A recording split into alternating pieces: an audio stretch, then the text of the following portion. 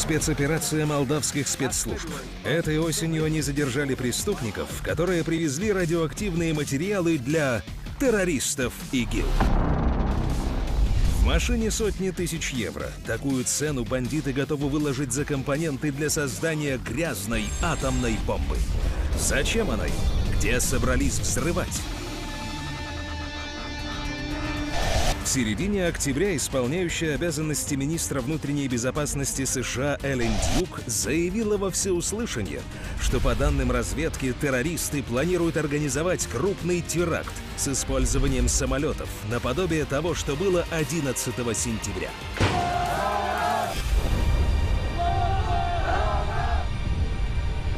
Если это вылилось в публичное пространство и вполне а, я допускаю, что это вылилось не случайно, что это все было специально а, предусмотрено для того, чтобы а, общественность узнала о том, что есть возможность терактов. Это, конечно, общественность мобилизует.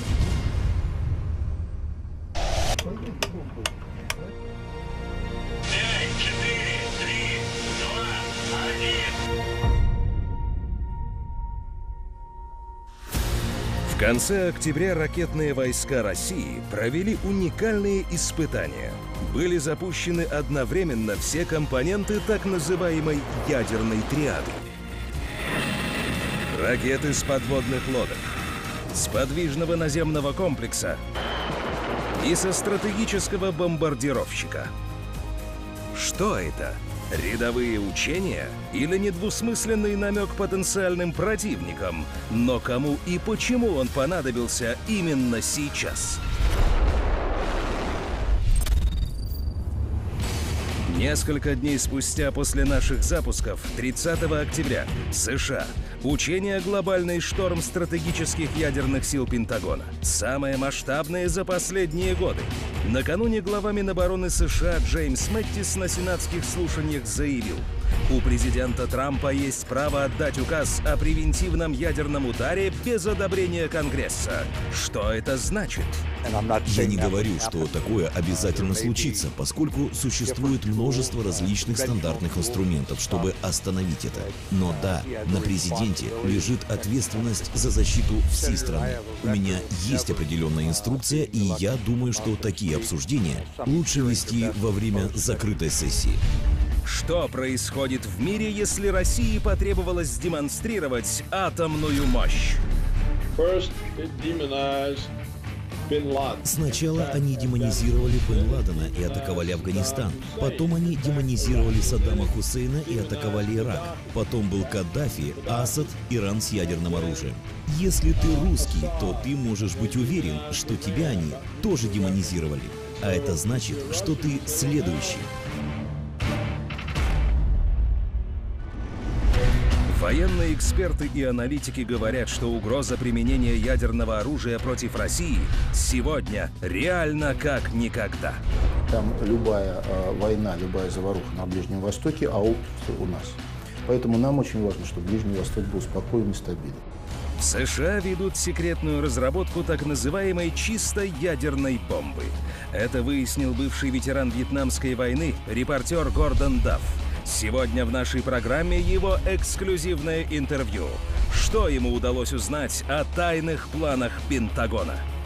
США создают тактическое ядерное оружие особого типа для разрушения металлических конструкций зданий и фундамента. Ядерное термоболическое оружие. Мы выяснили шокирующие подробности о ядерном оружии. Страшилки о глобальной катастрофе в случае применения ядерного оружия они не совсем адекватны. Конца света не наступит, то есть воевать, к сожалению, ядерным оружием можно. И выиграть ядерную войну, к сожалению, можно. Посмотрите, это место, где Пентагон испытывал свои самые мощные и разрушительные атомные бомбы. Если радиация убивает, то почему здесь кипит жизнь, как нигде в океане? Мы встретились с живым участником самых масштабных в истории ядерных учений. Производится подвеска бомбы. Человеком, который видел все последствия своими глазами. Какой-то гриб, черт. Мы ничего не знали, это после узнали. Нам ничего про это не говорили. А потом туда, вперед, в эпицентре взрыва. Я видел овцы, выходили. Шкуры нет на них, собаки там. Зачем крупные международные производители косметики и продуктов питания облучают радиацией еду и косметику? На них нет значка «Обработано радиацией». Вы знали об этом? Как это влияет на здоровье? Сенсационное расследование программы. В Китае общий рынок использования радиационных технологий – это 16 миллиардов долларов. Где-то 2,5 миллиарда долларов приходится на пищевые продукты. Часы судного дня показывают считанные минуты до апокалипсиса. Но действительно ли в случае ядерной войны планету ждет конец света? Почему военные так не считают? И кто сегодня надеется не просто выжить, а выиграть ядерную войну? Если кто-нибудь однажды все-таки его применит, и окажется, что оно совсем не такое страшное, не такое эффективное, да, оно не, не решает, да, ну, провели террористическую бомбардировку города, ну, уничтожили миллион людей. Мы нашли на сайте Пентагона шокирующие документы. Зачем США объявили тендер на 500 миллионов долларов по секретной ядерной программе? Всерьез готовятся стрелять? Не пропустите! Наш фильм перевернет ваши представления о ядерных угрозах и радиации. Эксклюзивные интервью с выдающимися атомщиками, участниками испытаний и военными, которые раньше никогда не рассказывали о том, что видели своими глазами. Только сегодня. Факты, которых вы не найдете в интернете. Смотрите прямо сейчас.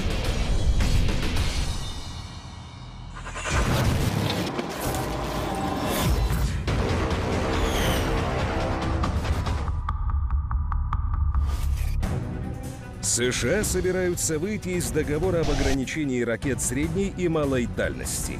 Того самого договора, к которому США и СССР пришли после Карибского кризиса. Тогда чудом обошлось без удара атомной бомбой. Военные говорят, выход из соглашений будет концом целой эпохи, когда крупнейшие державы на основе взаимных договоренностей хранили этот хрупкий мир. Мне сказали, что я значит, направляюсь в Женеву, в Швейцарию, значит, где значит, должен быть выступить экспортом по э, разделу 10 вот этого договора СНВ-1. Э, это раздел по обмене телеметрической информацией при испытаниях баллистических, межконтинентальных баллистических ракет.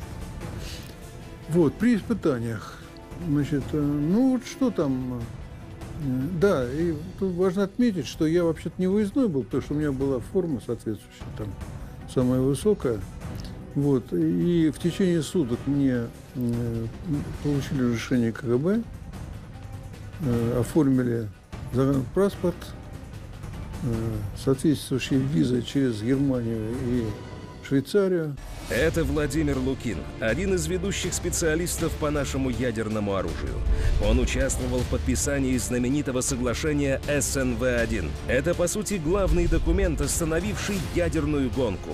Военные были сильно потрясены, ведь потенциальному врагу открывалась вся секретная информация, в том числе параметры каждого ракетного пуска.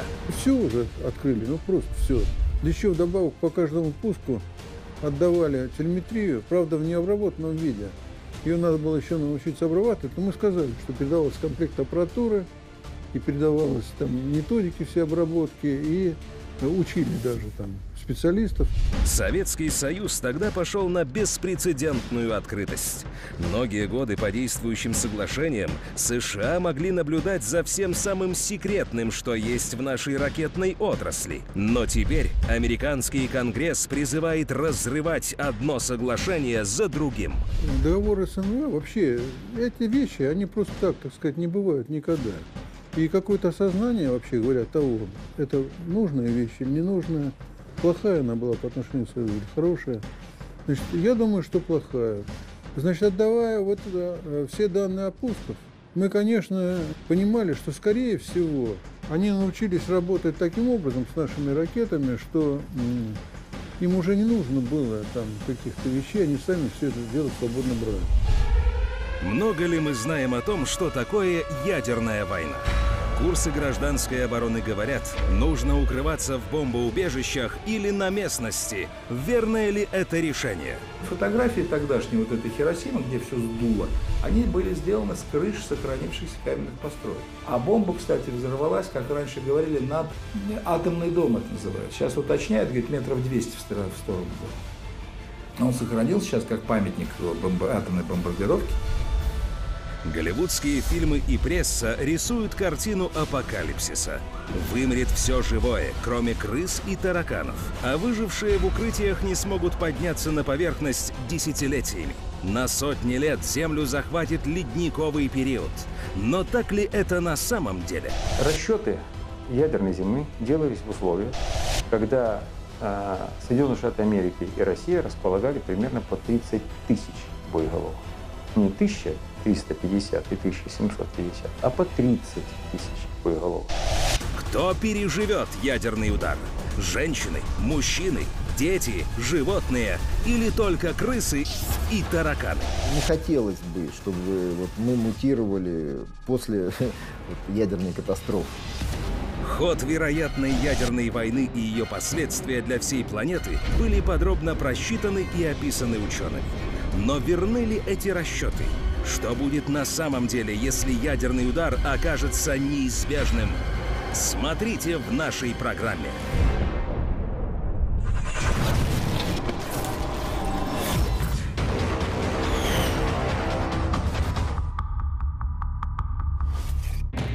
Марте 2016 года террористы ИГИЛ готовили атаку на бельгийские атомные станции. Но чудовищный теракт удалось предотвратить. Бандиты действовали по очень простой схеме. В городке Шарлеруа во время прогулки с собакой был застрелен сотрудник службы безопасности АЭС «Тианг». Его пропуск похищен. Это произошло всего через три дня после ужасающих терактов в аэропорту Брюсселя и на станции метро Мальбек, которые совершили братья Ибрагим и Халет Бакрауи, члены ячейки ИГИЛ. Спецслужбы Бельгии уже выяснили, что атомная электростанция Тианж должна стать следующей целью террористов. И пропуск убитого сотрудника успели вовремя аннулировать. Кроме того, под подозрение службы безопасности попали сразу 11 человек, работавших на АЭС. Их отстранили от работы. Две бельгийские АЭС Тианж и Дуль находятся в густонаселенных регионах. В радиусе 75 километров от станции Дуль проживает около 9,5 миллионов человек. При этом обе АЭС самые старые в мире, им больше 40 лет. Перед атакой они уязвимы сильнее всего. Но это не все. В Европе, оказывается, не так уж сложно достать радиоактивные изотопы, чтобы устроить так называемый «грязный взрыв». Начинить бомбу не шариками и гвоздями, а изотопами урана или плутония. Продавцов урана недавно задержали в Молдавии. Полиции они признались, что радиоактивное вещество добыли на Украине.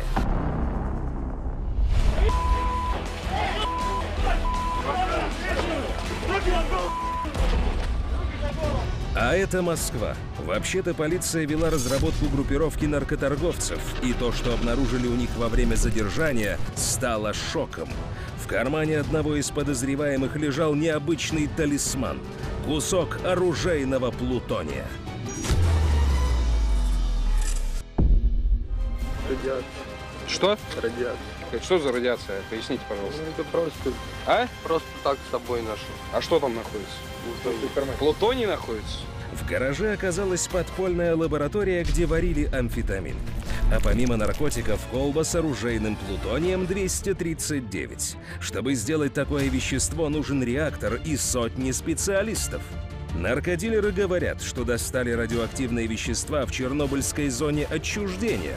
Ездили туда специально. С какой целью они собирали плутоний и что готовили? И самое главное, кто еще может найти такой бесхозный материал для создания атомной бомбы? Ответ на этот вопрос – один из самых главных. Ядерная на сегодняшний день она более доступна, потому что имея урана, это уже ты ядерное оружие имеешь в руки, в рук, в руки. Это, это школа, э, средняя школа, физика. Даже любой ученик понимает, что означает уран-235 или 237. Это одно из московских бомбоубежищ. В случае войны оно будет открыто для граждан. Чтобы пережить ядерную бомбардировку, нужно знать, где находится такое укрытие, успеть добежать до него и обязательно иметь готовый к такой ситуации специальный чемоданчик. Прозвучит сигнал сирены, так называемые, как в Великой Отечественной войне такие сигналы подавались. Вот, ничего не изменилось. Те же самые сигналы означают внимание всех. По этому сигналу должны включить телевизор, либо, если есть радио, иные способы получения информации. Э, СМС может прийти. Э, получить информацию конкретных, о конкретных действиях. То есть либо укрыться, либо еще какие-то необходимые действия. В случае укрытия, ну, у каждого человека должен быть с собой так называемая тревожная сумка или тревожный чемоданчик, где он должен хранить свои документы, желательно э, питание на, в течение хотя бы на двое суток, воды, драгоценности, если есть необходимость. И хватает этот чемоданчик и спускается в ближайшее приписанное к нему укрытие. Рассчитывать на то, что каждое убежище оборудовано системами вентиляции, обеспечено запасами питьевой воды и топлива, не стоит. Скорее всего, это будет просто подвал. Это в советское время вот для каждого человека, хоть там примитивный, но строили какие-то укрытия. Сегодня я там, где вот в районе, где я проживал, там в Новочеремушке, я знал, где убежище оборудованные, вентиляционные. Но это не для конца света, а для того, что если будет радиоактивное заражение, ну, удары нанесут. Даже здесь, в образцовом столичном бомбоубежище, куда приводят журналистов, дизель-генератор не заправлен. Это бессмысленно. Топливо долго не хранится. Вода тоже. В мирное время оно, как и большинство таких помещений, отдается в аренду под склад. Необходимости использовать убежище по назначению не возникало с момента постройки 1977 года. Убежище спроектировано таким образом, чтобы обеспечить э, непрерывное пребывание 2700 человек в течение двух суток. То есть э, снабжается именно на это определенное время, на двое суток, э, всеми необходимыми ресурсами. При этом при, при получении команды о приведении в готовность, если убежище в мирное время используется под какие-либо нужды, то выносится все имущество, там, арендатор или еще кто-то находится, собственник, и заносятся нары, заполняются необходимыми резервами, в том числе водой, если имеется дизельный электросклад, значит топливом запасаются именно на непрерывную работу в течение двух суток. Как только убежище будет заполнено, а возможно и просто выйдет время, отведенное на эвакуацию, двери закроются. И попасть внутрь будет невозможно. В таких случаях инструкция предписывает укрываться на местности. Мощная яркая вспышка, э, огромный гриб образуется, и зачастую покрывается слоем пепла большая территория Земли после проведения соответствующего ядерного испытания. Можно ли выжить снаружи при ядерной атаке? Военные говорят «вполне». Но для этого придется разобраться, что именно ждет нас в случае ядерной бомбардировки. При ядерном взрыве там существует ионизирующее излучение. И когда шарик крутится, то вся поверхность все равно покрывается. Мы подыхаем в первый момент там, а через некоторое время все остальные подыхают. Если это будет ядерная война, и с применением, так сказать, вот, массированного там ядерного оружия. Это эксклюзивное интервью. Владимир Лукин в 80-х годах принимал участие в испытаниях системы автоматического ответного удара «Периметр». О ней до сих пор известно очень мало. США называли эту программу «мертвая рука». Это действительно точное определение. Предполагается, что даже если все высшее военно-политическое руководство будет уничтожено неожиданным массированным ударом, то все равно из российских установок одновременно автоматически стартуют ракеты по тем целям, которые у них назначены на день X. Если они наносили упреждающий удар, выводили из строя, там все на белом свете, провели такие учения, когда была задействована система периметр. Это вот как раз вот эти ракеты реутовские, э, значит, переоборудованные подкомандные ракеты, они выходили из своих, и от них, значит, на все оставшиеся стратегические ядерные силы в войне ядерной передавали сигнал. И по этому сигналу все, что было в автоматическом режиме, приводилось. Считалось, что личного состава там уже нет ни хрена. Многие думают, что мертвая рука запустится только в том случае, если все командующие будут убиты. Но, как утверждает свидетель испытаний, это не так. Автоматическую систему ответного удара создавали не только для этого. Это страховка от нерешительности политического руководства страны. Тот момент, когда люди будут не способны принимать решений, мертвая рука сработает гарантированно. Какое в ядерной войне можно там принять быстрое решение? Особенно, когда уже нанесен удар по нас. То есть вот эти вот разговоры, что вот там полководцы там примут решение. Да никогда этого, как я понимаю, это не может быть. Это просто самих себя уничтожить. Ну что ж там, дураки что ли сидят? Вот потому как я видел людей, они нормально, они тоже понимают, что это именно дерзость. Система «Периметр» сработает только в случае реальной ядерной атаки по нашей территории. Если это случится, что останется от нашей планеты после массированного удара? Россия может, обнаружив факт массового взлета баллистических ракет противника, учитывая, что время подлета ракет составляет где-то порядка э, получаса, обеспечить своевременный старт своих баллистических ракет по территории США. В этом случае потери американского населения и экономики будут больше, чем России. Тогда как российский удар, понимая, что стрелять по американским э, шахтным пусковым установкам бессмысленно, они пойдут в основном по населенным пунктам американских городов и промышленным центрам. Потери населения американского значительно выше. Сценарий гипотетической ядерной войны принято рассчитывать по ракетным силам двух основных игроков – США и России. Что будет, если Вашингтон и Москва нанесут удар по городам друг друга? Действительно, у нас с ними больше всего на вооружении боеголовок, и нацелены они симметрично – но есть еще Франция, Англия, Китай, Индия, Пакистан и несколько стран, у которых ядерное оружие может храниться незаконно. Если российский ядерный потенциал составляет 1750 боеголовок, американский 1350 боеголовок, то это уже вполне сопоставимо с потенциалом Великобритании 400 ядерных боеголовок, Франции 500 ядерных боеголовок, Израиля оценочно 400 ядерных боеголовок, они скрывают количество ядерных боеголовок. Э, сопоставимо с потенциалом Индии и Пакистана. Пакистана около 100, в Индии около 100, 150 ядерных боеголовок. И уж тем более сопоставимо с Китаем. Китай, который сегодня сохраняет в тайне свой ядерный потенциал, около тысячи имеет Китай. В случае Третьей мировой войны эти страны также могут запустить в дело свои арсеналы. Получается около пяти тысяч ядерных бомб.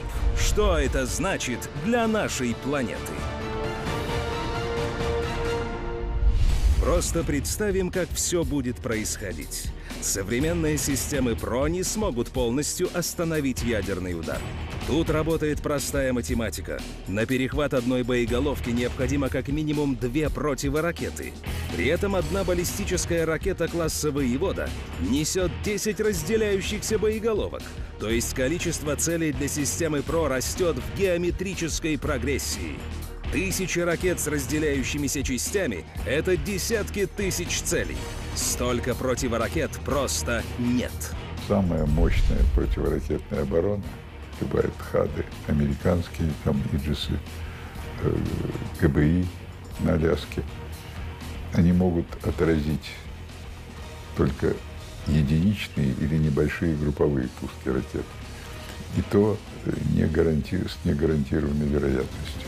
Ядерная бомбардировка неожиданно обрушивается на крупнейшие города России. Немедленно следует ответный удар по территории США. К атаке подключаются союзники по НАТО. Ответный удар приходится и по ним. Тысячи ядерных бомб одновременно взрываются по всему миру. Что произойдет после этого? Вы можете пересидеть в подвале, подождать, когда радиоактивное излучение спадет. Через двое суток можете выйти. Ну, конечно, будет фон выше радиационного. Вот. Но мы, вы не забывайте, что горцы в горах живут, они живут по повышенном радиационном фоне. Стол воздуха там существенно меньше. Летчики гражданской авиации, которые часто летают, они получают большие дозы. Космонавты получают большие дозы.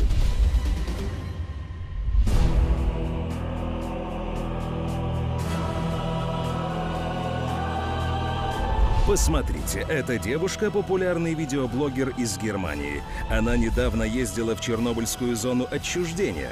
Вот пробует радиоактивные яблочки в Припяти. Немного кислые, но так окей. Девушка испытывает радиацию на себе. Что она только не делала. Пила зараженную воду, искала в Чернобыле радиоактивные изотопы. И говорит, ничего страшного с ней не произошло. Вот нашла неподалеку в Припяти место, где прямо на земле участок заражения. Очень опасное гамма-излучение. 39 миллизивертов. Это мое самое сумасшедшее видео. Здесь чисто гамма-излучение. А это атолл Бикини в Тихом океане. Только посмотрите, какая красота под водой. Коралловый риф и просто невероятное биоразнообразие. Это место полюбили акулы, киты, рыбы, разрослись кораллы. Невероятно, но все это находится в кратере, который образовался на дне после взрыва самой мощной американской водородной бомбы. Через 10 периодов полушпала, через 300 лет считается, что радиационная обстановка становится более-менее нормальной. Вот примерные периоды э, восстановления ситуации. Но, опять-таки, мы с вами здесь должны говорить о сложностях воздействия радиации. Ну, характернейший пример – Чернобыльская зона. Отселение из 30-километровой зоны.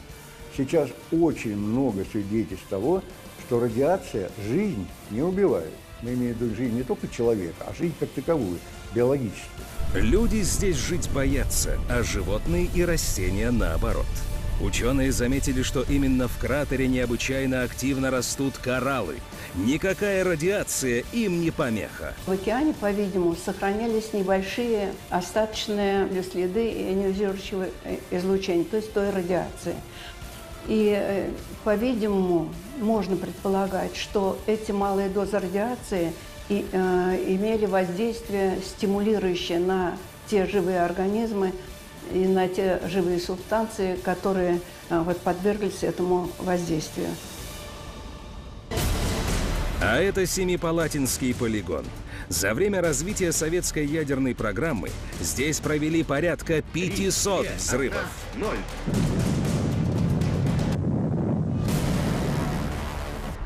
И ничего, растительность покрывает кратеры, а животные не обходят это место стороной стоял в 10 метрах от эпицентра первого советского ядерного взрыва. Ну и вот впечатление, которое было у меня, не забываем. То есть действительно поле уже фактически э, степь как бы вот потихонечку поглощает вот продукты человеческой деятельности. От опытного поля, которое был суперсекретным объектом, ну, практически уже ничего не осталось. А вот здесь удивитесь еще сильнее – пустыне Невада, неподалеку от знаменитого города развлечений Лас-Вегаса, всего в 100 километрах от него, самый большой ядерный полигон Минобороны США. Здесь взорвали больше всего – 928. Нигде в мире в одном месте не взрывали столько ядерных бомб. Жители Лас-Вегаса, кстати, долгое время наблюдали атомные грибы прямо из своих окон. Их видно из такого расстояния. Мы реально жили в условиях массированного э, использования ядерных взрывов. Десятки ядерных взрывов были промышленные,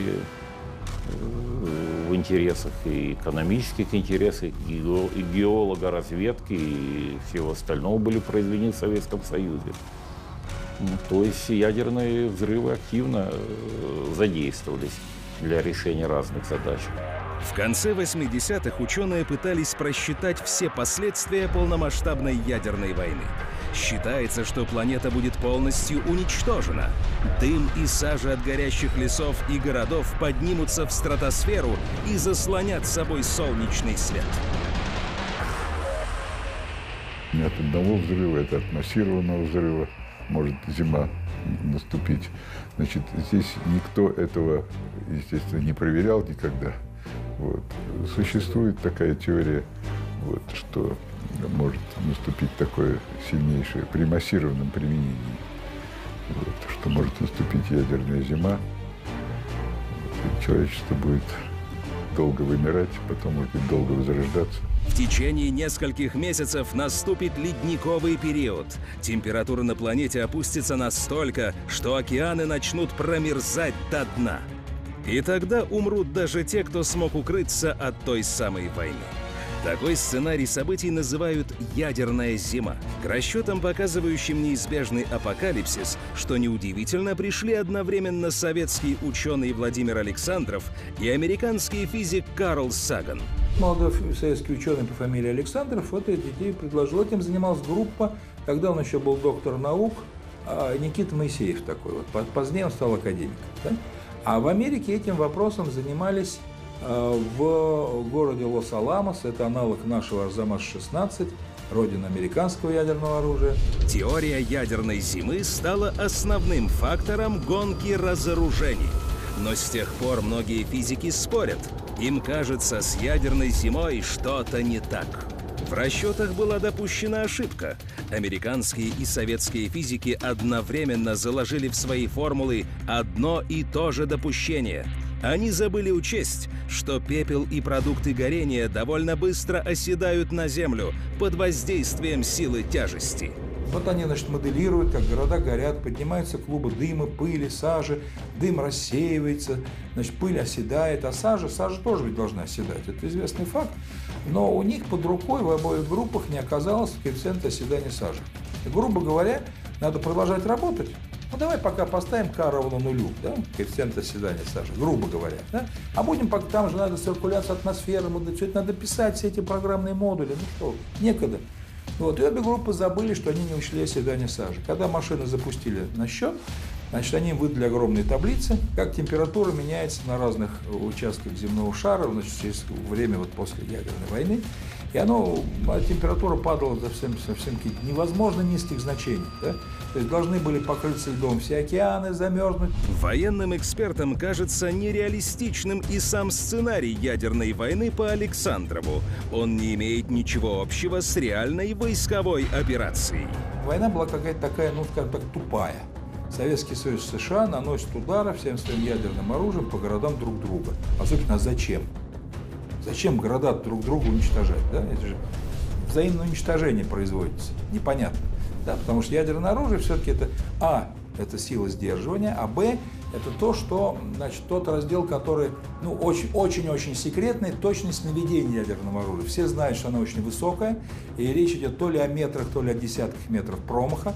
Да, и явно это не для того, чтобы попасть к какому-нибудь городу типа Чикаго, э, Зарайска или, или Рязани. Да? Это точность, чтобы попасть э, в малоразмерный высокопрочный объект, типа шахтной пусковой установки. Виктор Ковалев – военный, сам участник ядерных испытаний. И о дырах в теории Александрова знает не понаслышке. Он так же, как Александров, занимался расчетом последствий ядерной войны. Проведите радиусом, посчитайте по формуле Садовского, на каком расстоянии будет такой радиус, это будет зона сплошного поражения. Там в том числе все погибнет в разрушенных зданиях. Ну, возьмем типовой, ну, одна мегатонна боезаряд. Одна мегатонна боезаряд, боезаряд даст такой радиус, ну, где-то километров 7. 0,2 килограмма на квадрат сантиметр. То есть радиусом 7 километров вокруг мегатонной бомбы будет все уничтожено.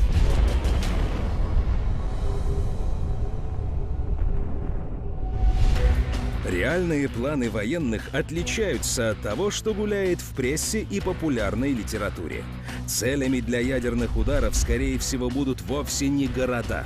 Более того, многие граждане могут даже не заметить, что началась атомная бомбардировка.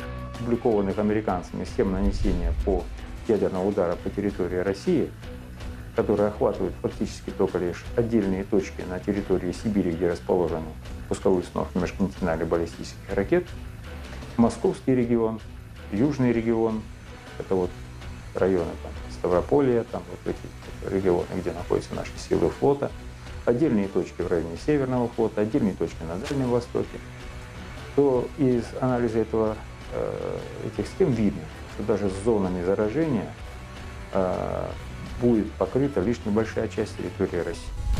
В 1985 году история приобрела и вовсе детективный оборот. Профессора Владимира Александрова пригласили на научную конференцию в Испанию. Он поехал. Но незадолго до начала конференции в Мадриде, как рассказали его коллеги, он сообщил, что пойдет погулять по историческому центру города, и с того момента его никто не видел. Официально профессор считается пропавшим без вести. Однако эксперты полагают, что его могли вывести в США американские спецслужбы. Был на научной конференции и пропал. Вот. Потом появилась информация, что, оказывается, обе группы ученых ошибочку допустили. Не учли оседание сажи.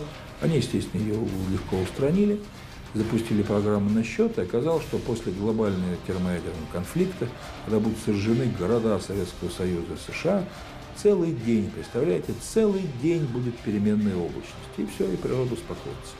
Вот, вот в таком вот ключе так вот оказалось немножко. Вообще, в принципе, до этого можно было догадаться и раньше. На сегодняшний день достоверно известно, что теория ядерной зимы рассчитана неверно. Кроме того, после того, как прошла программа разоружения, значительно сократились ядерные арсеналы и США, и России.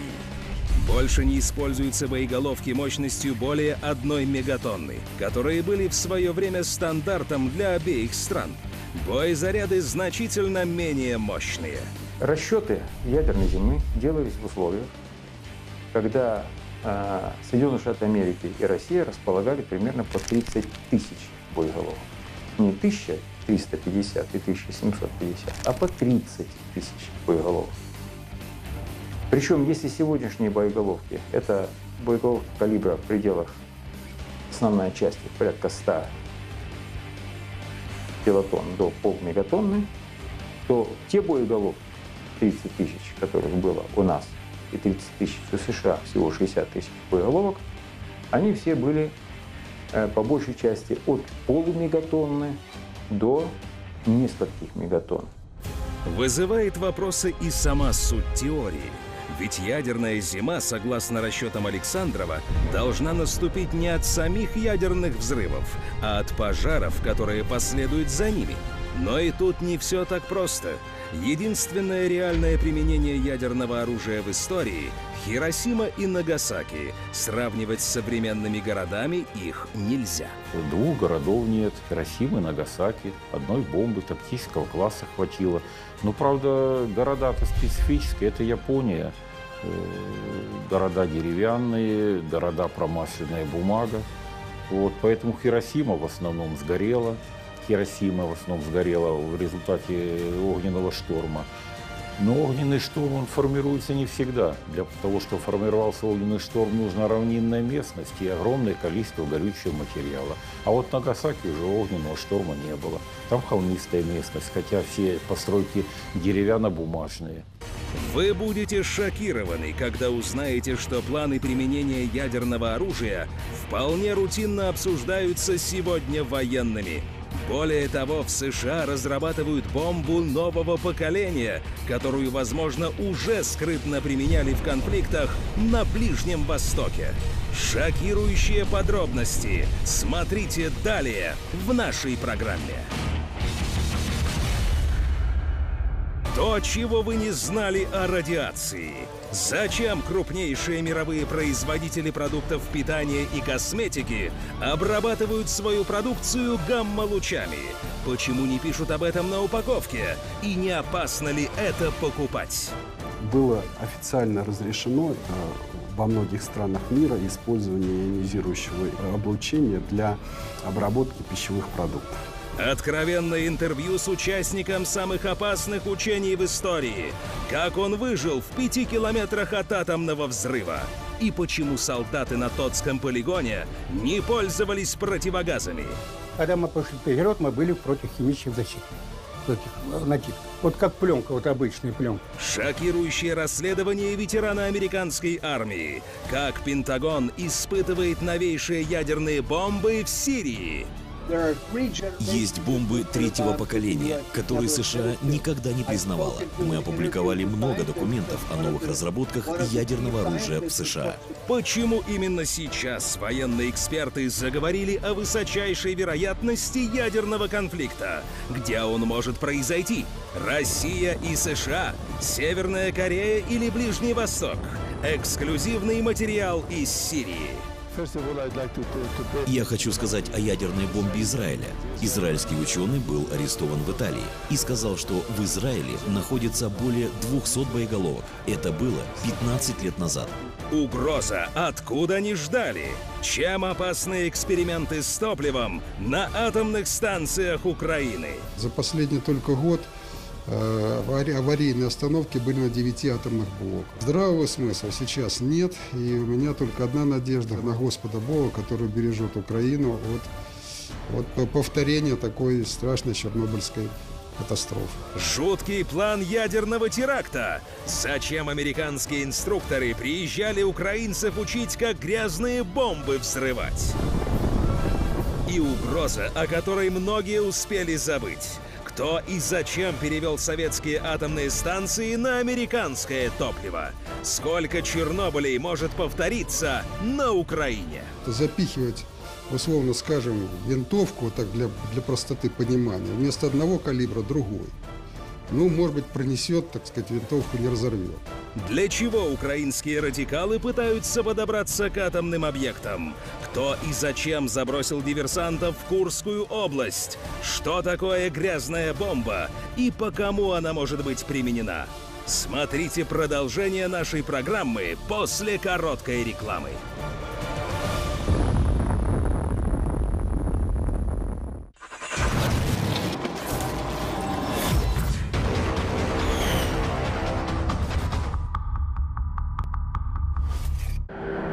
Брошено. Взрыв! Это были поистине уникальные по масштабу учения. 45 тысяч военнослужащих, тысячи единиц боевой техники, танки, самолеты и автомобили. Учениями на Тотском полигоне руководил лично маршал Георгий Жуков. Наблюдать прибыл Никита Хрущев. Было задействовано в учениях в районе 600 танков, 600 бронетранспортеров, больше тысячи автомобилей, там тягачи, э, ору, ору, орудийные, так сказать, были э, стволы, самолеты, 320, насколько я помню, самолетов было задействовано. И вся эта махина должна была вот прийти в действие после применения ядерного оружия. Ну вот в сентябре месяце применено было 1954 года, применено ядерное оружие над определенной точкой. И, соответственно, после этого а, полетел самолет-разведчик для измерения параметров этого взрыва. Через час примерно были пущены войска вот в район этого взрыва. Мы встретились с Юрием Исаковым, одним из участников единственных в истории СССР больших армейских атомных учений. В 1954 году он проходил срочную службу, и о том, что именно предстоит пережить, солдат не предупреждали. До того, как начались тот учения, мы строили блиндажи с четырьмя накатами бревен. Вот вырыли в землю, вот там попались на два метра. И четыре наката бревен. И вот последний накат находился по, по уровню, почти на уровне земли. Ну, может, там на полметра выше. И когда э, дали знак, что в переводе, мы сидели в этих блин, железными дверями. Блиндажи были железными дверями. Мы сидели в этих блиндажах. Или взрыв. Земля трясанула, как вот, знаете, как, ну, как вам сказать, как землетрясение, наверное. Вот такой вот, все, все это зашевелилось на земле. Потом, значит, отбой, мы выскочили из этих и в течение часа стреляли боевыми снарядами в эпицентр взрыва. Юрий Исаков вспоминает. Больше всего был поражен видом подопытных животных, которых в исследовательских целях оставили в зоне поражения. Некоторые из них выжили. Когда мы пошли вперед, мы были против химических защит, таких э, накидков. То есть она вот как пленка, вот обычная пленка. Вот такая противохимическая. А противогаза нет, без противогаза. Противогаз висел, но не надел. По факту мы подоехали туда. И мы выходили, видели вот этих из блиндажей, вы, вы, вы, там, козы, там овцы, собаки, что там не было, обгорелые. Вот я видел овец, я, правда, не все видел. Но вот видел овцу, у нее шерсти нет, она вот как одно мясо. Она блеет. Вот это я видел. А потом мы тут все время разворачивались, стреляли, опять разворачивали, целый день. К вечеру мы вернулись в свои расположения. Ученые говорят, что большинство солдат получили незначительные дозы облучения. Опасно было приближаться именно к 200-метровой воронке. Там был очень сильный радиационный фон. За его пределами доза облучения примерно как в рентгеновском кабинете в поликлинике. Это опасно, но именно в таких условиях предполагалось воевать с применением атомных бомб на поле боя. Хорошо было известно, что существуют планы конкретного нанесения ядерных ударов, были, были известны цели, города, по которым планировали американцы нанести ядерный удар. То есть Советский Союз вынужден был значит, серьезно к этому относиться и готовиться к возможной ядерной войне. Вот в свете этого значит, требовались определенные э, значит, меры, то есть разработка мер для защиты как населения, так и военных, которые вступали бы в бой с э, противником. Ну и было принято решение провести испытание ядерного оружия вот в реальных условиях, то есть на поле боя, после чего, значит, пустить прорыв в войска. Трудно сказать, удивительно или это вполне нормально. Но многие участники тех испытаний живы и по сей день, хотя какую дозу облучения они получили, не зафиксировано ни в каких документах. Но это не все. Мы встретились еще с несколькими невольными участниками советской ядерной программы. Виктор Брикошин пережил 16 атомных взрывов. У нас было очень много взрывов, которые вот именно наземные. У нас были машины специальные, которые на большом расстоянии, ну, на разном расстоянии от взрыва стояли по всей области Семипалатинской, или, может быть, даже дальше. Ловили радио там вот волны, что ли. А у меня была, я обслуживал, у меня была бортовая машина, я транспортная такая транспортная рота, на которой все возили. И людей. В конце 50-х он пошел в армию, а там получил направление на Семипалатинский полигон. Был водителем грузовика. Говорит, на сами взрывы смотреть не разрешали. От этого можно в мгновение ослепнуть. Зато каждый раз после испытаний отправлялся на своей машине к еще дымящимся воронкам. Что самое интересное, никакого страха не было интересно просто. Даже когда говорили, что надо задом лечь отвернуться от взрыва, хотелось повернуться, посмотреть, как он на себя выглядит. Ну, а потом, когда вот волна прошла, видно, там гриб поднимается. И все, и после гриба, значит, потом уже Кому надо было, значит, везли людей в поле там вот, прибором. Обратите внимание, по инструкции 57 года большинство солдат даже не прятались в укрытиях, находясь на расстоянии около 5 километров от взрыва. Им предписывалось просто лечь на землю и прикрыть голову руками. Еще один участник испытаний на Семипалатинском полигоне, Борис Бугаенко, проходил там службу через несколько лет, в 69 году. К тому времени взрывы стали делать подземными, а требования по безопасности стали еще проще. Не нужно было даже ложиться на землю. И единственное, что мы должны выйти все из автобуса, стоим на земле. Почему? Потому что, ну, что значит, э, любой ядерный взрыв – это маленькое землетрясение. И вот я впервые, мне ну, сколько было там, 19, 20 лет, я впервые почувствовал, э, как страшно, когда под тобой земля вот так вот резкий толчок, один, второй, третий. Вот это, конечно, чувство, это, потому что Земля это вроде такая спокойная, твердь, незыблемая, и вдруг она под тобой вот так вот ходит. Вот. И мы смотрим, уже знаем, какая сопка, уже световых реперов, сигналов нет, но когда происходит момент взрыва, то, допустим, как правило, шапка чуть приподнимается горы, выходят клубы белого дыма, радиоактивный, соответственно. И там, где порода была слабая или были трещины, выходит э, это радиоактивное облако, выползает по чуть-чуть так. Пускаем, пускаем, все. Многие скажут, советское командование поступало безрассудно. Людей не жалели, не заботясь о безопасности. Но военные считали, что применение ядерного оружия на поле боя – вполне штатная ситуация. Задача военных как раз-то не состояла в том, что делать из нее машину судного дня, чтобы, уходя, хлопнуть дверью. Задача военных состояла в том, чтобы создавать ядерное оружие, разрабатывать формы и способы его боевого применения, разрабатывать планы применения так, чтобы этим оружием можно было воевать, реально воевать, а не уничтожать весь мир и так далее. Ходе экспериментов и испытаний выяснилось удивительное свойство радиации. Оказывается, ее действие не так однозначно, как принято считать. В некоторых случаях ионизирующее и гамма-излучение может не убить, а наоборот улучшить способность организма к регенерации.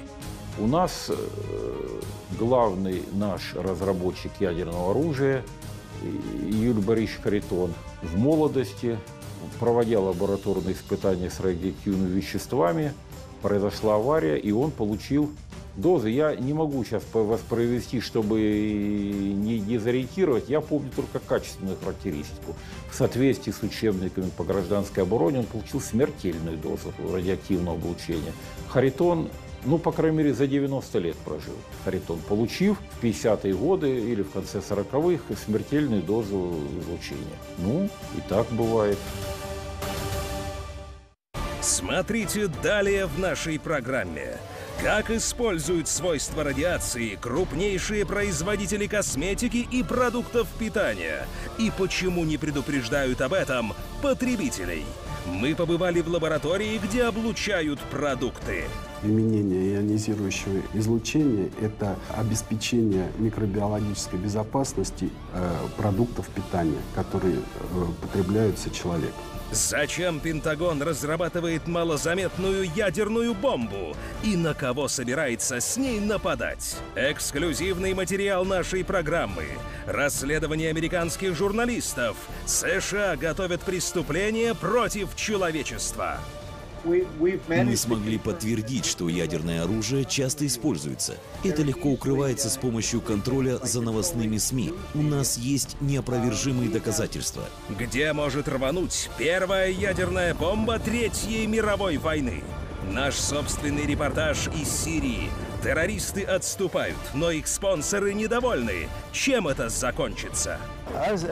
Надо сказать, что сейчас, благодаря Америке, стало легче приобрести ядерные боеголовки и использовать их против Сирии. И угроза, которой никто не ждал. Украина. Отчего в последние месяцы так часто происходят аварии на атомных электростанциях наших соседей? Подчеркиваю, что люди есть люди. Кого-то заставили, кому-то пригрозили. И что замышляют радикалы? Зачем им понадобились радиоактивные отходы? Даже грязная бомба. Если у них, у кого-то это появится, они это используют. И я в этом ни грамма не сомневаюсь.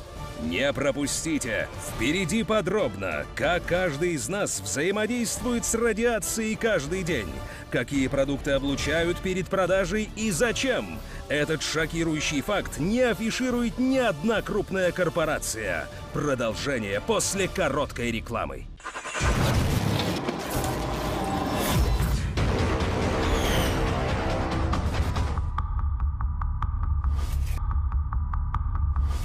Смотрите далее в нашей программе. Как используют свойства радиации крупнейшие производители косметики и продуктов питания? И почему не предупреждают об этом потребителей? Мы побывали в лаборатории, где облучают продукты. Применение ионизирующего излучения – это обеспечение микробиологической безопасности э, продуктов питания, которые э, потребляются человеком. Зачем Пентагон разрабатывает малозаметную ядерную бомбу? И на кого собирается с ней нападать? Эксклюзивный материал нашей программы. Расследование американских журналистов. США готовят преступление против человечества. Мы смогли подтвердить, что ядерное оружие часто используется. Это легко укрывается с помощью контроля за новостными СМИ. У нас есть неопровержимые доказательства. Где может рвануть первая ядерная бомба Третьей мировой войны? Наш собственный репортаж из Сирии. Террористы отступают, но их спонсоры недовольны. Чем это закончится? Надо сказать, что сейчас, благодаря Америке, стало легче приобрести ядерные боеголовки и использовать их против Сирии. И угроза, которой никто не ждал. Украина. Отчего в последние месяцы так часто происходят аварии на атомных электростанциях наших соседей? Подчеркиваю, что люди есть люди. Кого-то заставили, кому-то пригрозили. И что замышляют радикалы? Зачем им понадобились радиоактивные отходы? Даже грязная бомба. Если у них, у кого-то это появится, они это используют. Я в этом ни грамма не сомневаюсь. Не пропустите! Впереди подробно, как каждый из нас взаимодействует с радиацией каждый день, какие продукты облучают перед продажей и зачем. Этот шокирующий факт не афиширует ни одна крупная корпорация.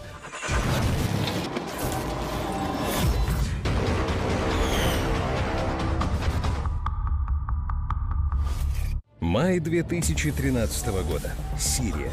Эти кадры сняли сами террористы. Войска американской коалиции наносят удар по позициям сирийской армии. Посмотрите, очень странный взрыв. На него обратили внимание военные эксперты.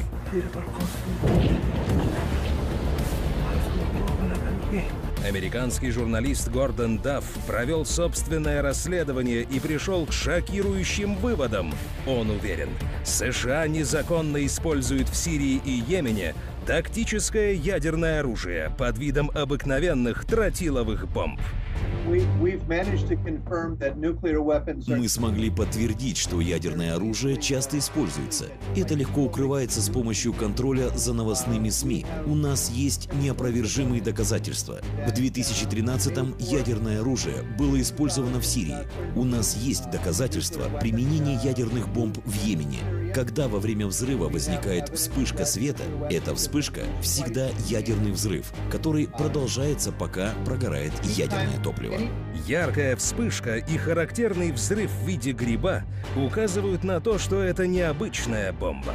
Во-первых, вспышка в виде яркого шара, свет как от солнца. Во-вторых, и это самое главное, несоразмерность мощности боезаряда и самолета, который доставил бомбу. Это был тактический фронтовой бомбардировщик F-16. Физики-проектировщики говорят нам следующее. Если вы хотите оценить уровень взрыва, используйте здравый смысл. Если F-16 кидает двухтонную бомбу, его максимальный размер и на поверхности образуется кратер, как от 10-тонной бомбы, это значит, что использовался необычный вид оружия. И это общее замечание. Последние несколько лет Пентагон проводит модернизацию своих тактических ядерных бомб модели Б-61. И если еще недавно военные эксперты были шокированы, когда узнали, что США планируют Б-61-12 поставлять всем подряд членам НАТО, от Прибалтики до Румынии, то теперь всплывают еще более интересные новые подробности. Многомиллиардная программа, возможно, всего лишь прикрытие. Гордон Дафф считает, по этим статьям расходов проходят тайные разработки ядерных бомб третьего поколения. Б-61, в которую США вложили миллиарды долларов, стандартная водородная бомба, которая, как говорят, проходит очень дорогой процесс модернизации. Как мне говорили, финансирование этого процесса позволит получить абсолютно другое оружие. Б-61 модернизируют, чтобы сделать ее более точной, но, по нашим сведениям, это было сделано еще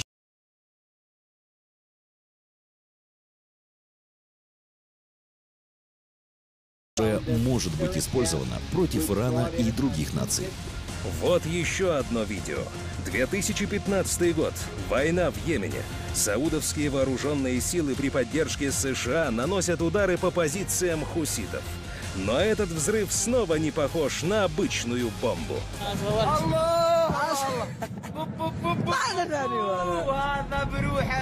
Многие военные эксперты не верят своим глазам. Может быть, это просто мощная бомба обыкновенного класса. Но давайте сравним. Вот, например, террористы снимают, как по ним наносят удар наши российские ВКС.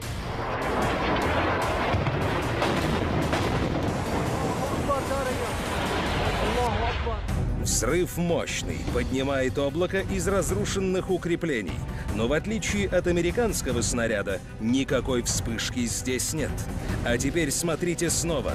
Удары, которые наносят американские самолеты по Сирии.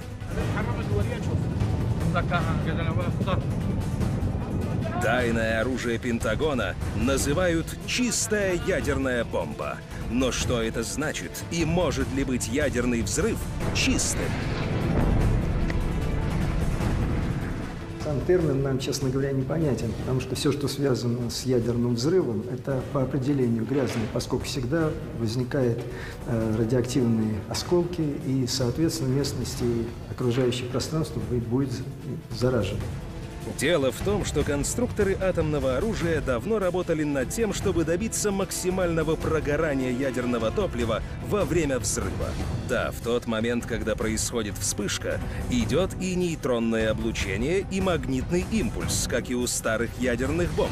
Но на месте взрыва обнаружить следы радиоактивных изотопов будет очень сложно. Они практически полностью исчезают во время детонации.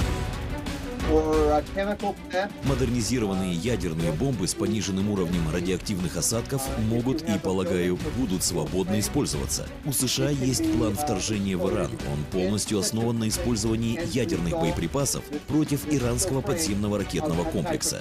Ничего больше и не может использоваться. Конечно, это ядерная война. Пентагон, похоже, всерьез готовится к реальной ядерной войне. Вот смотрите, серия документов, размещенных в открытом доступе. Минобороны США летом 2017 года объявила четыре тендера на разработку защитных средств для своих войск от последствий применения тактического ядерного оружия. Вот одна из заявок. На нее выделено 25 миллионов долларов.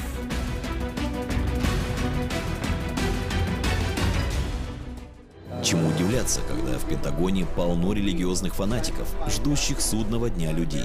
В Пентагоне полно людей, которые носят с собой Библию, постоянно молятся. Это центр американского Талибана.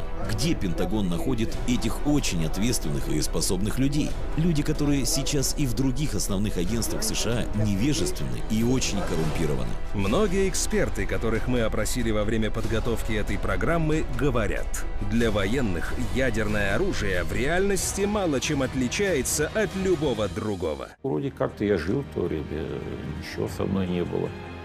Америка, Соединенные Штаты, 137 ядерных взрывов произвела. Это я имею в виду атмосферных. В тот период времени, в течение двух лет. И энерговыделение, ну, там порядка 30 с чем-то мегатон. То есть мы реально жили в условиях массированного применения ядерных боеприпасов. В 1963 году в Советском Союзе прошла К-серия, так называемая, высотных ядерных взрывов. Перед заключением договора мы тоже реально жили в это время. Еще, конечно, хорошего для экологии этого нет. Люди в большинстве своем слишком мало знают о радиации. Зато ученые широко используют ее возможности. Смотрите далее. Об этом ведущие мировые производители продуктов и повседневных товаров обычно умалчивают. Они не радиационные, они обработаны небольшой дозой ионизирующего излучения. Зачем яблоки и бананы перед поставкой на прилавки облучают потоком быстрых нейтронов? Это, так скажем, поток энергии. Энергия гамма-квантов или электронов. Действительно ли это так безопасно, как утверждают физики-ядерщики? И почему в таком случае нельзя превышать допустимую дозу? Что будет, если ее все же удвоят или утроят? Например, случайно. Чтобы продукт стал радиоактивным, э, энергия электронов в этом пучке должна быть в разы больше. Почему украинские атомные станции стали так часто выходить из строя? С какой целью радикалы проверяли на прочность систему безопасности Запорожской АЭС? Из-за чего в последние годы на Украине столько аварий на действующих реакторах? Вот за последний только год э, аварийные остановки были на 9 атомных блоках. Причем аварии были всегда, так сказать, сопряжены достаточно серьезными потерями. Ракка, Дейр-эз-Зор освобождены от террористов. Действительно ли это победа над ИГИЛ в Сирии? Чем займутся сбежавшие с насиженных мест головорезы? Сирии, с моей точки зрения, ничего не завершено. А ИГИЛ – это не организация и не государство в классическом его понимании а это, прежде всего, террористическая сеть. Наш материал из Дамаска. Бригадный генерал сирийской армии уверен, война не закончится одним лишь освобождением территорий. Спонсоры террористов лишь возьмут паузу, чтобы попытаться нанести страшный удар. Сейчас такие военные группировки, как Свободная армия Сирии, ИГИЛ и другие, смело можно назвать американскими, так как они поддерживаются США. Не пропустите! Неожиданное откровение производителей продуктов, которые оказываются на наших столах каждый день. Радиация, о которой мы даже не подозревали. После короткой рекламы в нашей программе.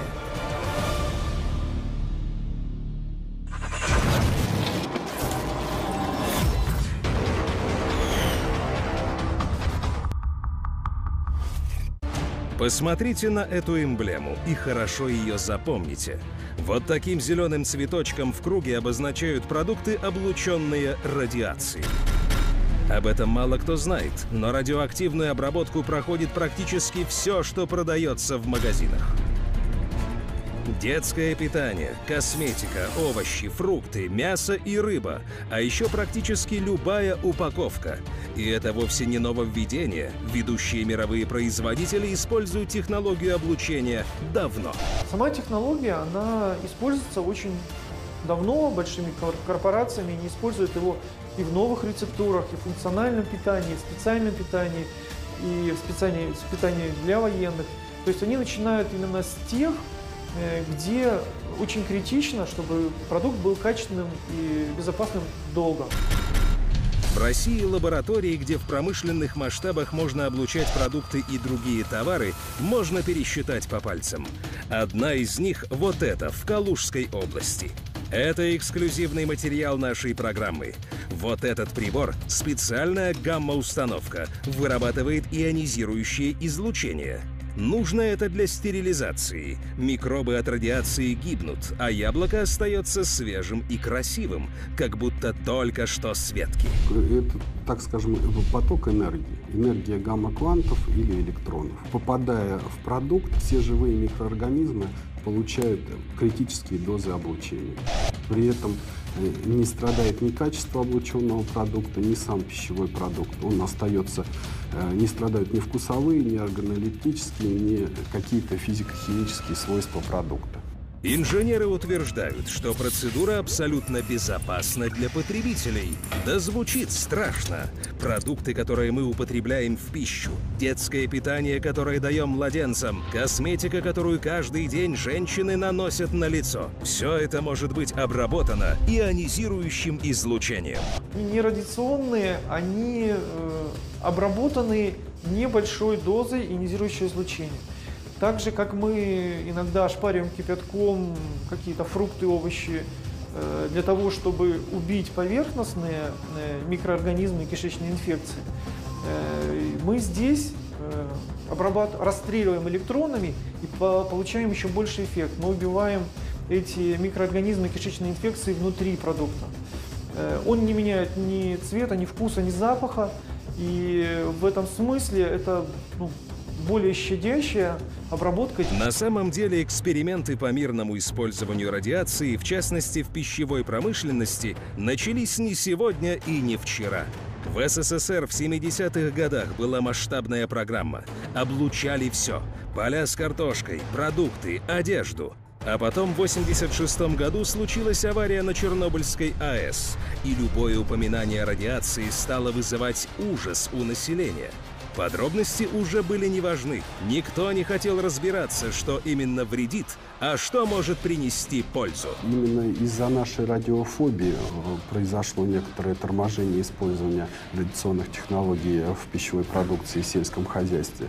А на Западе такой радиофобии не наблюдалось, но и, соответственно, количество э, обрабатываемой продукции э, достаточно велико. Так что импортные продукты и товары облучены при производстве с гораздо более высокой вероятностью, чем отечественные. Просто потому, что этих гамма-установок у нас намного меньше, чем на Западе. Чтобы продукт стал радиоактивным, энергия электронов в этом пучке должна быть в разы больше. Он никогда не станет радиоактивным, и этот ускоритель э, вводится в эксплуатацию только при установленных ограничениях, э, то есть никогда не станет радиоактивным.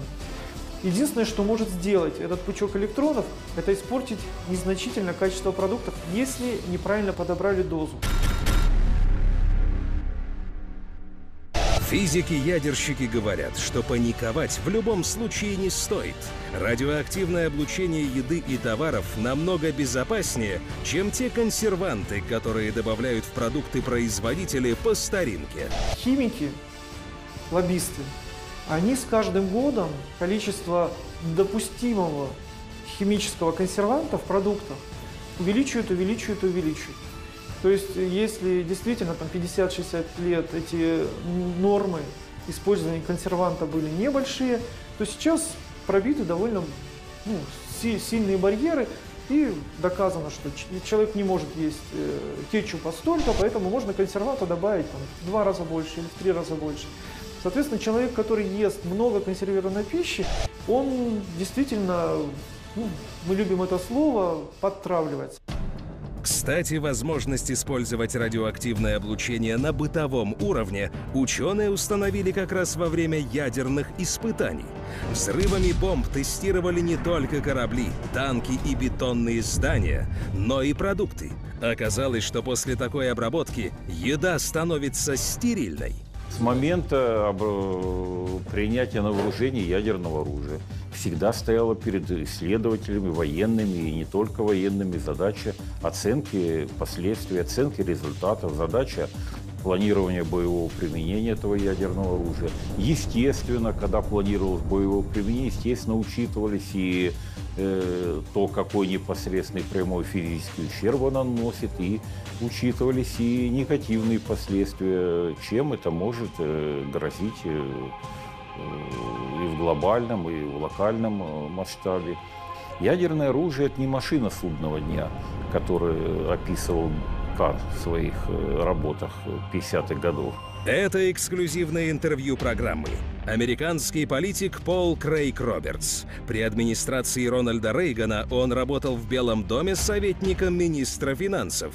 По политическим взглядам республиканец, но не поддерживает общепринятую линию «валить все на Россию». Пол Крейг с самого начала интервью был встревожен. Он уверен, сейчас в отношениях двух стран наступил критический и очень опасный момент. Сначала они демонизировали Бен Ладена и атаковали Афганистан. Потом они демонизировали Саддама Хусейна и атаковали Ирак. Потом был Каддафи, Асад, Иран с ядерным оружием.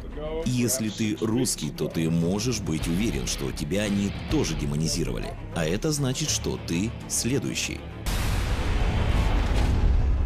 Говорит, что особенно опасно звучат новости о разработках и испытаниях новейшей американской термоядерной бомбы. То, о чем говорил Гордон Дафф. Я не могу догадываться обо всех планах и шагах правительства в оборонной сфере. Но я знаю, что администрация Трампа ведет разговоры о создании нового вида ядерного оружия. Меньшего по размеру, но гораздо более мощного. Это выглядит безумством. Если ты создаешь новое оружие, это значит, что ты хочешь его использовать. Нам в России часто кажется смешным, как американские политики и СМИ во всех бедах обвиняют Москву. Начиная с так называемого вмешательства в выборы, заканчивая любой мелочью. На самом деле внутри США это все многие воспринимают как реальную подготовку к войне. Сегодняшним американцам прочистили мозги пропагандой, что Россия враг. И это сделано гораздо более эффективно, чем даже во время Холодной войны. Сегодня Трамп говорит, что хочет покончить с напряженностью и враждебностью между странами.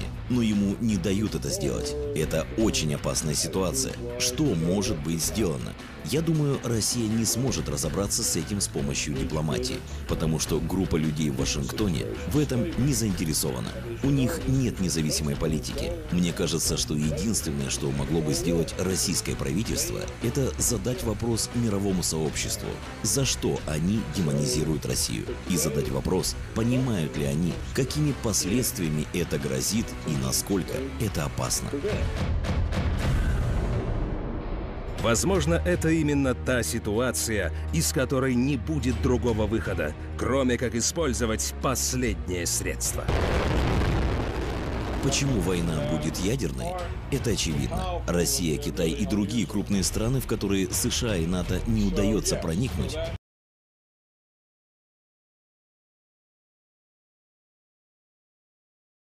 говорят, что прямое ядерное столкновение США и России практически исключено.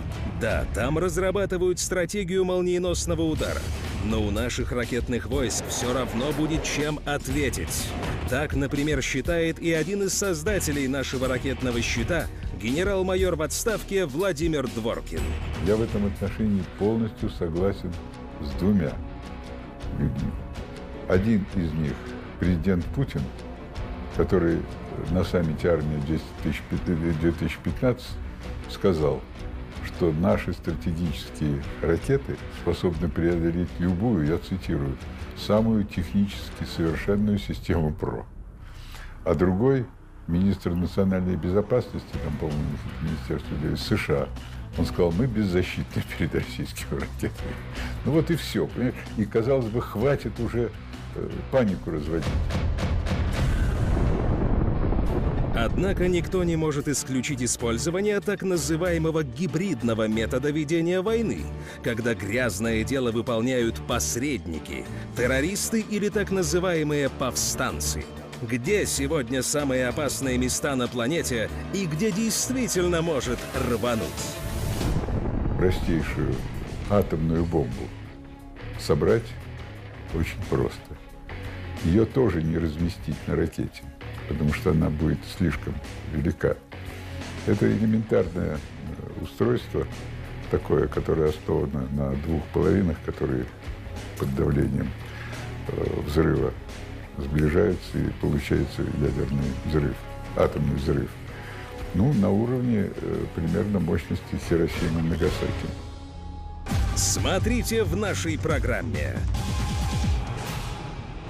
Рака, Дейр-эз-Зор освобождены от террористов. Действительно ли это победа над ИГИЛ в Сирии? Чем займутся сбежавшие с насиженных мест головорезы?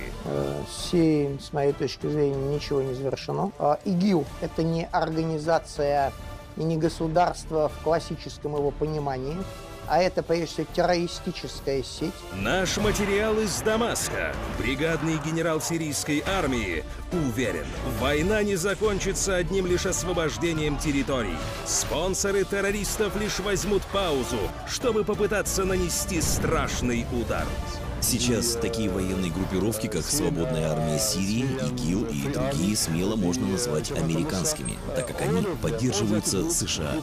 Почему украинские атомные станции стали так часто выходить из строя? С какой целью радикалы проверяли на прочность систему безопасности Запорожской АЭС? Из-за чего в последние годы на Украине столько аварий на действующих реакторах?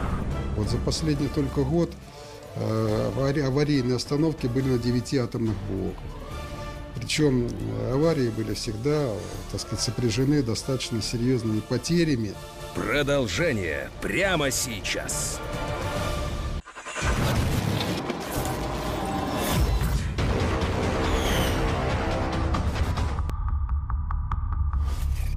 Последние месяцы сирийская армия и наше Министерство обороны сообщали о стремительном освобождении захваченных игиловцами территорий. Террористы потеряли свои позиции, но закончилась ли на этом война? На Ближнем Востоке сошлись очень многие интересы, и не только американские и российские. А, скажем, вокруг Сирии есть э, четыре региональных силы, региональных державы, если хотите. Это Турция, это Иран, это Саудовская Аравия и это Израиль. Они представляют четыре разных совершенно э, нации. И вот наша задача сейчас как раз вокруг сирийского конфликта свести все их интересы, ну хотя бы на уровне единой площадки, в чем они могут быть согласны. Эксперты говорят, на Ближнем Востоке начинаются новые проблемы. Террористы здесь не были случайным явлением. Против сирийской армии воевали десятки группировок, и у каждой свои влиятельные покровители. Это то, что в современном мире называется гибридная война. Когда государства от своего лица не желают пачкать руки в крови и для отстаивания своих интересов нанимают боевиков – Американцы называют это прокси-силы. Эта угроза более 20 лет уже существует. Марионеточные войска, прокси-силы, мы должны отметить, все созданы спецслужбами Запада. Они все контролируются. США позволяет ИГИЛ проходить через свои границы. Были показаны лица игиловцев, транспорт, показаны базы ИГИЛ, американские военнослужащие, которые участвуют в террористических операциях. Это доказательства, предоставленные Россией, никогда не появлявшиеся в американских газетах, лица игиловцев и американские машины, развозящие настоящее оружие. Военные эксперты говорят, что Ближний Восток теперь похож на одно большое минное поле. Где теперь рванет, непонятно. Слишком много влиятельных проигравших в сирийской войне, а у некоторых из них есть ядерное оружие. Это эксклюзивное интервью нашей программы из Сирии. Бригадный генерал совсем недавно вышел в отставку. Он прошел самые отчаянные годы этой войны. Я хочу сказать о ядерной бомбе Израиля. Израильский ученый был арестован в Италии и сказал, что в Израиле находится более 200 боеголовок. Это было 15 лет назад. Сейчас Израиль имеет более 400 боеголовок. О ядерной программе Саудовской Аравии я могу сказать. Немецкий журналист писал, что Саудовская Аравия имеет ядерные боеголовки на разных базах. Саудовская Аравия может представлять большую угрозу для Средней Азии. Америка признала, что они использовали более чем 15 тысяч единиц урания. Официально ни одна из ближневосточных стран не входит в ядерный клуб.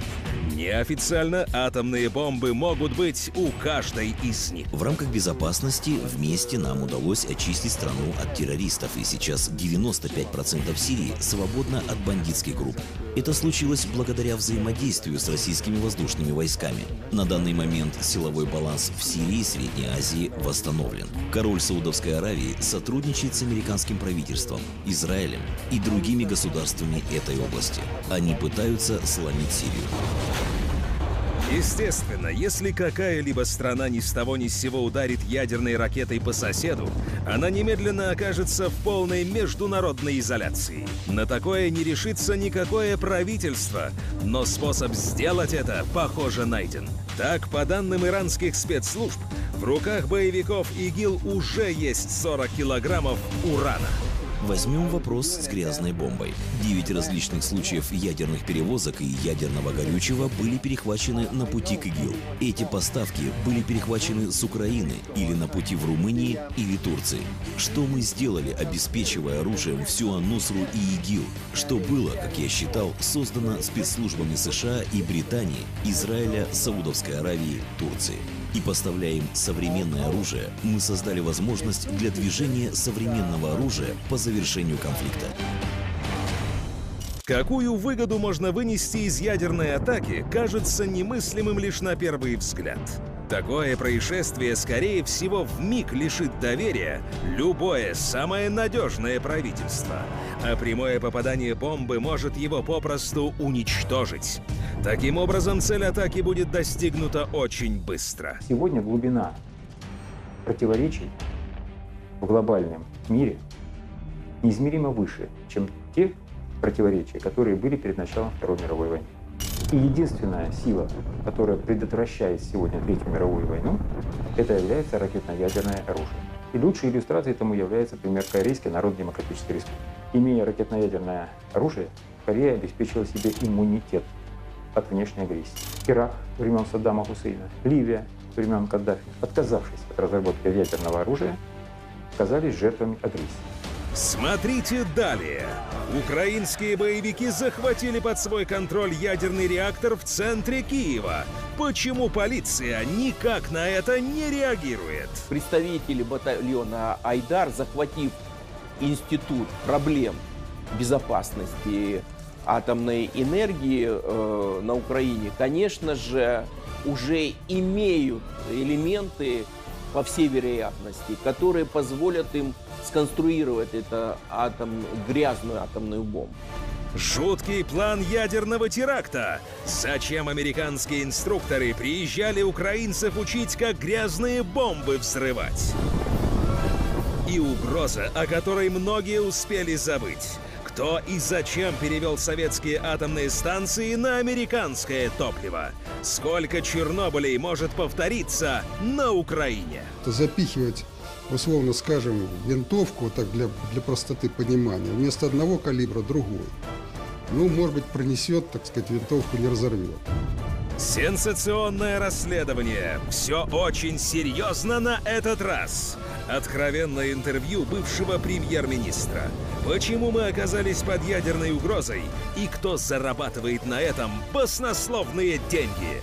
Продолжение прямо сейчас.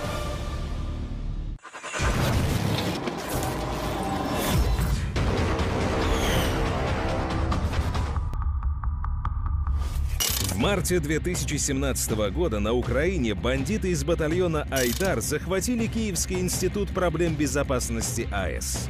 К тому, что нацбатальоны хозяйничают по всей Украине, уже давно привыкли. Люди с оружием запросто могут ворваться в любое учреждение и установить там свои порядки. Так, например, из недавнего. Боевики захватили гостиницу «Лебедь» в столице, сельсовет в Полтавской области. Но здесь ситуация из ряда вон. О вторжении на территорию режимного объекта не сообщалось очень долго. Только в конце сентября эта информация попала в прессу.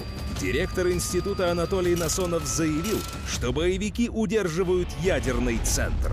Мы неоднократно обращались в нацполицию по данному факту, но до сих пор посторонние лица с оружием остаются на территории института. Диверсия на исследовательском реакторе. Это что означает? Ну, это может быть не э, ядерный взрыв, но это такое разнесение. Ну, Чернобыль. Вот нечто вроде Чернобыля, может быть, в меньших масштабах, но это в центре мегаполиса. И, кроме того, многие десятки радиоактивных материалов в медицинских центрах содержатся. Если их собрать, подорвать просто гранатой, то это колоссальные районы будут заражены и паники, и от паники погибнет больше народа, чем непосредственно от болезней лучевых. Ядерщики сообщают об огромной опасности. Полиция не вмешивается в происходящее.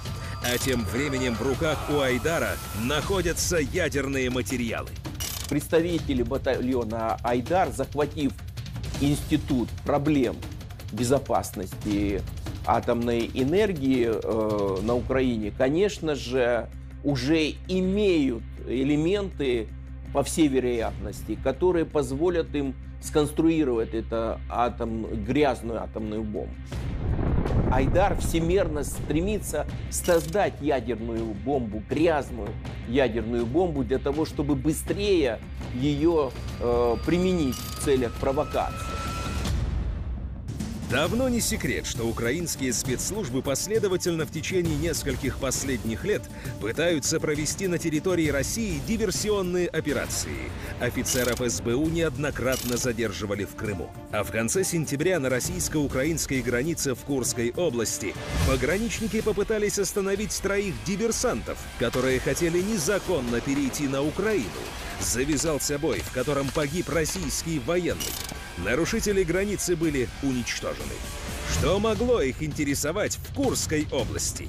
А там, между прочим, находится Курская атомная электростанция, причем в зоне досягаемости украинских тактических ракет класса .У. Ну, тех, технически, технологически, конечно, Украина располагает всеми возможностями вот, реализовать, так сказать, эту безумную идею. Ну, на Украине действует реактор до сих пор. Э, научный реактор в центре Киева, кстати сказать, на проспекте Науки. Вот. Украина располагает достаточное количество специалистов, ученых, которые способны были реализовать ну, если уже Южная, Северная Корея реализовала, да, если Иран там реализует, ну, представить себе высокий потенциал украинской науки, бывшей советской науки, она же, так сказать, я не разделяю все, что, все, о чем я говорю, это то наследие колоссальнейшее, которое Украине досталось от Советского Союза. Эксперты считают, что Киев и не планирует брать на себя ответственность. Для этого есть прокси-силы, боевики, маргинальные, никому не подчиняющиеся нацбатальоны, например. И для этого не нужны никакие высокие технологии. Достаточно захватить самый простой комплекс .у и снарядить его ядерными отходами. На постсоветском пространстве, особенно на Украине, достать их совсем не сложно. У нас есть э, так называемые ретеги, э, радиоактивные термо термоэлектрогенераторы, которые использовались, чтобы питать маяки, в частности, на Северном морском пути. На Балтике тоже стояли. Там огромное количество, вот условно говоря, как ведро э, шариков цезия. Были случаи в Кандалакше, когда охотники за металлоломом в 90-е годы этот ретек то ли спилили, то ли, то ли его действительно штормом выбросило на берег, неважно. Они его раскурочили, металл сдали, деньги получили, напились и умерли от облучения. Все это могло бы показаться ужасной фантазией и совершенно невероятным сценарием событий, если бы не реальные факты. Сначала захват ядерных материалов на киевском учебном реакторе, а потом в конце сентября визит на Украину экспертов-ядерщиков из США. Официально учение по ликвидации последствий взрыва грязной бомбы. Сценарий такой. Якобы донбасские ополченцы атакуют Украину бомбой, начиненной радиоактивными отходами. Натовские химики и ядерщики смоделировали такой взрыв. Учения оказались настолько важными, что на них прилетел даже генсек НАТО Ян Столтенберг. Осенью Киев потрясла волна митингов и беспорядков. Громкое возвращение Саакашвили, палаточный лагерь на Майдане. Эксперты говорят, в этих действиях чувствуется почерк мастера политического пиара – спектакля. Вот этот человек, всем хорошо знаком. В начале октября Игорь Коломойский отправился в Женеву на очень важный ужин с еще одним украинским олигархом Александром Онищенко. На эту встречу Коломойский пригласил журналистов и вовсе не случайно. Они написали в своих изданиях то, что хотел заказчик. Если касается Коломойского, то этот циник, он не становится ни перед чем. Он откровенный циник, он для него святого нет. Но судя по тому, что он сделал, сколько вскормил вот этих э, ублюдков с этими нацистскими ортодоксальными настроениями. Что происходит на Украине? Действительно ли нам стоит готовиться к удару со стороны соседей, отказавшихся считаться братьями? После переворота 2014 года новые власти взяли курс на разрыв отношений с Россией, и коснулось это не только политики. Топливо для украинских АЭС решили закупать в США у частной компании «Вестингаус». При этом урановые стержни, которые теперь поставляют, не подходят к реакторам, построенным в СССР. При нашей власти, условно, будем говорить, мы были категорически против использования на наших атомных станциях, построенных еще по советским проектам, абсолютно все. Станции, все наши атомные блоки, их 15 общее количество – были построены по советским проектам, по советским технологиям и предусматривали использование ТВЭЛов, тепловыделяющих элементов российского, ну тогда советского, а сейчас российского производства. Будучи премьер-министром, Николай Янович ознакомился и с мнением атомщиков, и экспертными заключениями по американским топливным элементам для АЭС. Мнение было категоричным. Переход на нестандартные твелы может привести к серии катастроф, похуже Чернобыльской. Еще раз подчеркиваю, что люди есть люди. Кого-то заставили, кому-то пригрозили, и, так сказать, начинаются уже звучать совсем другие голоса, чем те, которые мы слышали на экспертных заседаниях, на экспертных комиссиях. Вот. Но мы же видим практику. Вот за последний только год аварийные остановки были на 9 атомных блоках. Причем э, аварии были всегда, так сказать, сопряжены достаточно серьезными потерями, издержками и возможностью, так сказать, перетекания этой аварии в гораздо более серьезное мероприятие, в гораздо более серьезную катастрофу. Фактически все украинские АЭС работают на сегодняшний день на свой страх и риск. Загружают в советские колбы кассеты с неподходящим по параметрам ядерным топливом. Те аварии, которые уже произошли, не придаются огласке. И просчитать, насколько хватит терпения и сил, которые берегут Украину, может только Господь Бог. Это запихивать условно скажем, винтовку, вот так для, для простоты понимания, вместо одного калибра другой. Ну, может быть, пронесет, так сказать, винтовку не разорвет, а может разорвать. А вот это тот случай, когда авария может накрыть не только Украину, она может накрыть и Россию, сопредельные страны, и быть источником угрозы для других государств. На протяжении всего 20 века из всех видов именно ядерное оружие, как это не парадоксально, оказывалось самым мирным. Благодаря паритету ответному удару в случае нападения Третьей мировой войны не случилось. Однако, кажется, теперь кто-то придумал, как снять с себя ответственность и избежать ответных действий. Свалить все на марионеточных боевиков или повстанцев, от лица которых может быть сделано все, что угодно.